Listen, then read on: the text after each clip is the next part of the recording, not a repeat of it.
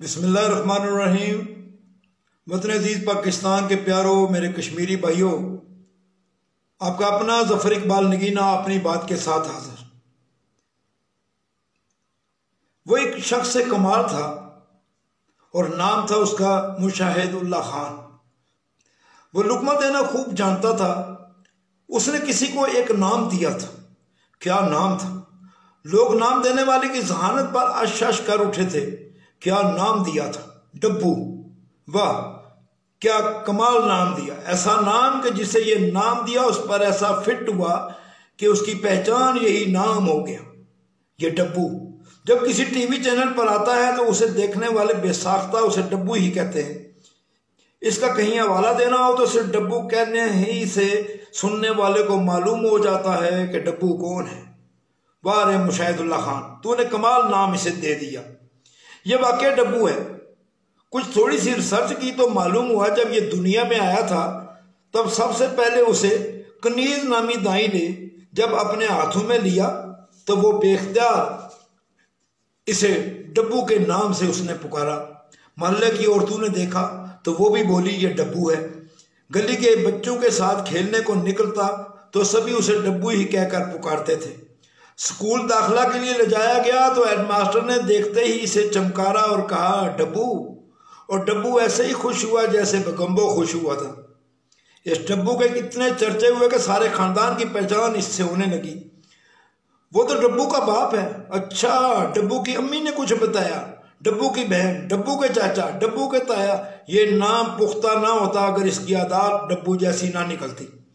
डब्बू था। डब्बू होकर दिखा दिया इसने।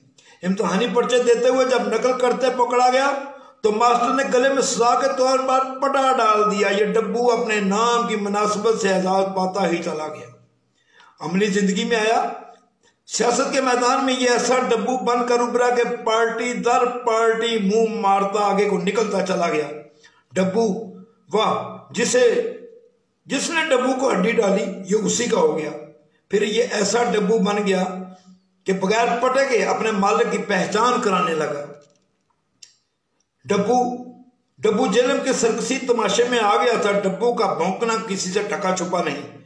इस डब्बू ने सरकसी तमाशे में पाकिस्तान आर्मी को चौकीदार बनकर फरायद अंजाम देने का पुकार भी दे दी।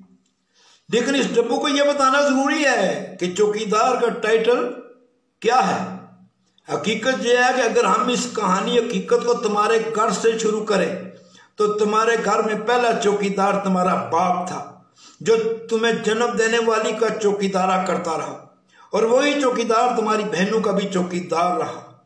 वही चौकीदार अपनी बहनों का भी एक चौकीदार रहा। लेकिन तुम डब्बू के डब्बू ही रहे, अपने बाप पर भी भौंकने से बाज ना आए। और तुम्हारे भौंकने पर ही तुम्हें घर से निकाला गया।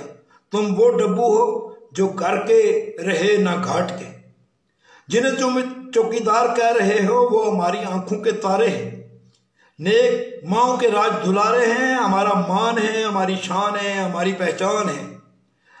हमारे सरू का ताज है, वो माफज मुल्क कौम है, वो पासबान है, वतन है। इनसे हमारे रिश्ते हैं, एहसास के रिश्ते हैं, बाप जैसी शफकत, माँ जैसा प्यार, भाई जैसा साथ, दोस्त जैसा एहसास। जिस कौम के अपनी फौज से इतने रिश्ते हों, इससे बढ़कर खुश नसीब कौम कोई और नहीं हो सकती। लेकिन डब्बू तुम क्या जानो? तुम डब्बू थे, डब्बू और डब्बू ही रहोगे। तुम्हें पड़ने वाली हड्डी एक जैसी ही होती है। बस हड्डी डालने वाले बदलते रहते हैं। डब्बू मुशाहिदुल्ला खान ने तुम्हारा नाम कमाल का रख दिया। कौम आज भी उसका शुक्रिया अदा कर रही है। डब्बू एक बात याद रखना। चौकीदार हो महफज हो, या रखवाला। बस अबारा और बावले डब्बू जो है जो खतरनाक होते हैं, उनका सदभाव करना, वो जानते हैं, उनको रोकना जानते हैं, उनको पटा डालना जानते हैं। जब वो देखते हैं कि ये खतरनाक है तो फिर कुचला खिलाकर उसको ठिकाने लगाते हैं या फिर दूसरा रास्ता इख्तियार करते हैं, जिसकी कानूनी तौर पर इजाज़त है। डब्बू अपना ख्याल रखना वक़्त आने वाला है।